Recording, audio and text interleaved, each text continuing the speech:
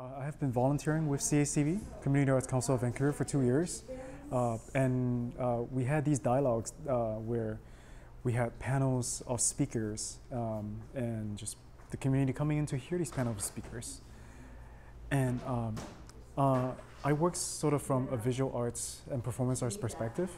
So when I came into CACV and looked at the dialogue format, I thought that we needed some more participation from the community and not just be listening to artists talk about their projects. Uh, but what if we actually involve um, sort of arts-based practices and introduce that to the community and have them make art pieces about uh, things that were important to them. And so through a lot of discussions, uh, interculturalism came up as a topic that needed to be explored because of the, the diversity of the downtown east side. Uh, there's so many different people, so many different culture. Uh, we're in Chinatown. So we thought, okay, well, let's do interculturalism dialogue, but instead of using just spoken words, let's talk about uh, the possibility of using art and any kind of art, from visual art to poetry to music, and uh, how can we ex express that that ideal, um, express those uh, concerns uh, and things uh, and thoughts about interculturalism, um, and, and, put it out as an art piece, uh, which was very very helpful for a lot of people because during the whole process, people had epiphanies, people had ideas, people had had um, sort of discoveries that they possibly wouldn't have if they were just talking. But being able to see visually uh, what the responses were to the questions brought light to a lot of people uh, in terms of thought patterns and understanding. So that really, really helped. Well, for me, I really understand interculturalism as, on some level, being like um, a conglomerate of parts um, and well, you know about a conglomerate is like a stone that's made of stones. So for me to understand interculturalism is to understand that it's the glue that ties many cultures together. Um, it's not so much like you're that culture, you're that culture, you're that. It's about the fact that there's a lot of different kinds of people and we all belong, and the glue is the belonging. And so I'm kind of creating a metaphorical structure. Um, maybe thinking about the earth, maybe thinking about a conglomerate, um, and it's the mortar that matters, the space in between. The crossing of cultures and the sharing. Because we could live in a multicultural world where we don't interact with each other, and um, but it's I think it's a sharing and acceptance. It's kind. Of, I'm, I heard of this girl who does um, belly dancing to heavy metal music. And that's kind of where, you know, the beauty of it, something new arises where you could relate to other cultures and bring your own culture into. Basically, I, I took photos around this neighborhood um, and I ventured down to the Hastings area.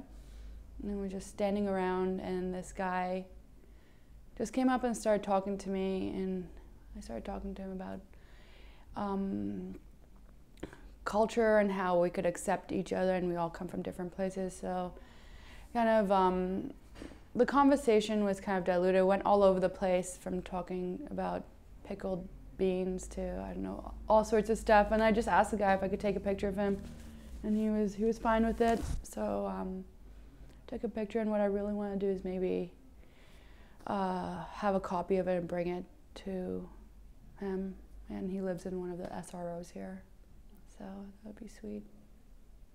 Well, the question that I'm dealing with is, is interculturalism and, and, and how, how everyone can basically participate.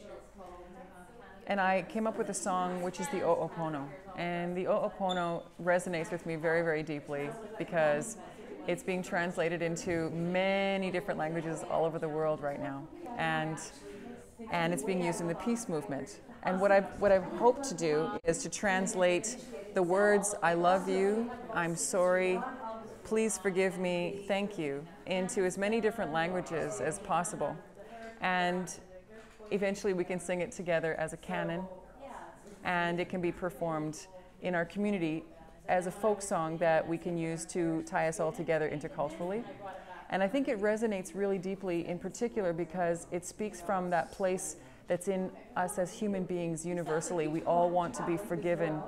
We, we're like cactus. We, we live together and we sometimes are abrasive and we don't even know that we're, we're affecting, uh, we're pokey and, and itchy scratchy on people around us. And we don't realize it until we've already stepped on someone's toes. So we all want to be forgiven. We all want to ask for forgiveness. We all want to show love. And we all want to be, be in a place of gratitude. And the melody goes like this goes, I love you. I'm sorry. Please forgive me. Thank you. I love you. I'm sorry. Please forgive me. Thank you. I love you. I'm sorry. Please forgive me. Thank you. Je t'aime. Lo siento. Perdone por favor. Gracias. Asiero. Come nasai. Hmm. Thank you so much. I, I'm, I'm so happy to be here. And this is what I'm doing. So thank you for asking. I feel that with the process today that we went through, uh, and, and with every process that we do, every time I facilitate a dialogue like that, um, it's always it's always a good surprise for me.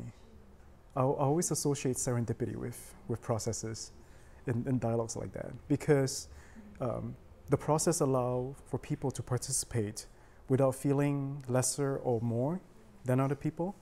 It sort of equalizes the playing ground and I, I personally like this process.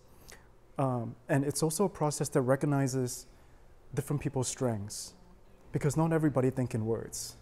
And so I feel that with arts-based processes, you're always able to level the playing field a little bit and that everyone can participate. It's inclusive. Uh, it helps people to access different patterns of thought, different ways of thinking. Uh, and, and I personally love the process. I love the fact that we were able to use our bodies. I love the fact that we were all able to come together within a very short amount of time without too many words and get into sharing really, really personal stories. But, but just by using the body alone uh, was enough to do that. And, and that, was, that was very precious for me, all the stories that were shared. And considering the fact we don't have two hours in the morning, uh, it, it came by really fast. Uh, stories came out really fast. And you can just see the whole, the whole the whole energy that changed. And people became more connected. People laughed together, and that was important. Um, and so, yeah, I stand, I stand by a process like that. I, I love this process, and I would recommend it to anybody who wants to engage in dialogue, any facilitator uh, who wants to do dialogue in this way. It's very, very fun, uh, and it's very, uh, it's very eye-opening and very mind-challenging. Yeah, and it's always, it's always good to, to give up that control of, you know, I don't need to be the, the person to provide the answer because the community will take care of themselves. Yeah, I like that.